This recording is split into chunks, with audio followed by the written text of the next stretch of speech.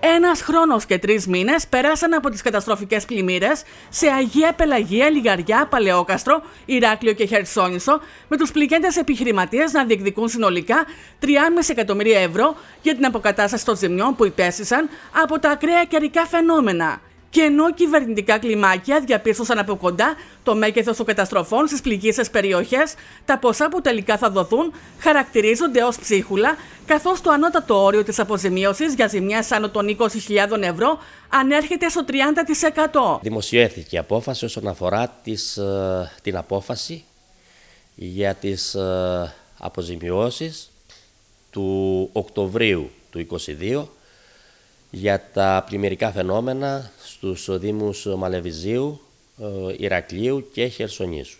Σύμφωνα λοιπόν με αυτήν την απόφαση, από, για ποσά μέχρι 10.000 ευρώ είναι 70%, από 10 μέχρι 20 είναι 50% και από 20 και πάνω είναι 30% και μέχρι η ποσό 120.000 ευρώ, δηλαδή αν ένας επιχειρηματίας που υπήρχαν επιχειρηματίες στις συγκεκριμένες περιοχές που υπέστησαν ζημιές πολύ μεγαλύτερες των 120.000 ευρώ δεν θα μπορούν να λάβουν αποζημίωση πάνω από 120.000. Αντιθέτως, πληγήσει περιοχές στην κεντρική Ελλάδα έτυχαν διαφορετική αντιμετώπισης από την κυβέρνηση, καθώς το ανώτατο όριο αποζημίωσης αγγίζει το 50%. Δυστυχώς στην Κρήτη, για μια ακόμα φορά, όπως και για τις προηγούμενες πλημμύρες του 20, ακολουθήθηκε μια άλλη πολιτική και τακτική κεντρικά, ενώ άλλες περιοχές όπως ο Ιαννός, τότε το πρόγραμμα που αποζημίωσε την περιοχή της Ασσαλία, την Καρδίτσα,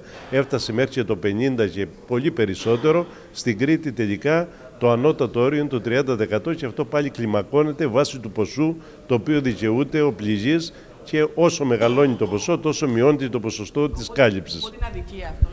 Θεωρώ ότι χρειάζεται μια πιο ισότιμη μεταχείριση, μια οριζόντια πολιτική θα έλεγα. Ενώ δεν ε, ισχύει το ίδιο σύμφωνα με την απόφαση η οποία εκδόθηκε 28 Δεκεμβρίου για τις πλημμύρες της Ασσαλίας. Άρα λοιπόν βλέπουμε για δύο γεγονότα, βλέπουμε μια διαφορετική αντιμετώπιση. Την ανάγκη αλλαγής του πλαισίου σε σχέση με την κρατική αρρωγή τονίζει ο Δήμαρχος Χερσονήσου, ο οποίος αναφέρθηκε στις δεταλώδεις γραφειοκρατικές διαδικασίες, οι οποίες δημιουργούν επιπλέον καθυστερήσεις και εμπόδια στην καταβολή των αποζημιώσεων. Περνούν τρία-τέσσερα χρόνια, κατατίθενται βέβαια και χορηγούνται προκαταβολές, αλλά θα πρέπει να γίνει πιο σαφές, πιο σύντομο, πιο απλό και πιο αποτελεσματικό το πλαίσιο.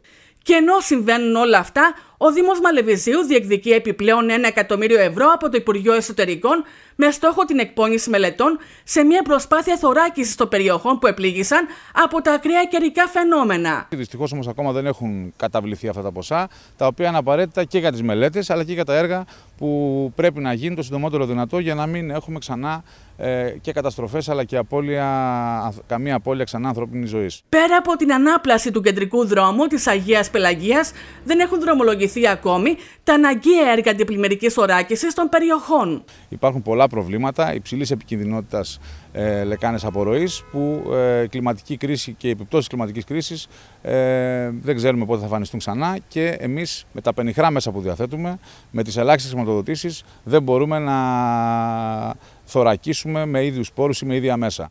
Όπως παραδέχεται ο Μενέλαος Μποκία, έχει χαθεί πολύτιμος χρόνος για την εκπόνηση μελετών, οι οποίες θα υποδείξουν τα σημεία, τον αριθμό και το μέγεθος των φραγμάτων ανάσχεσης που είναι απαραίτητα στις επίμαχες περιοχές, ώστε δημότες, επισκέπτες και κατασυματάρχε να μην ζήσουν εφιαλτικές εικόνες όπως αυτές του Οκτωβρίου του 2022. Εδώ δέστε αυτοκίνητα. Εκατό αυτοκίνητα έχουν πάει στη θάλασσα.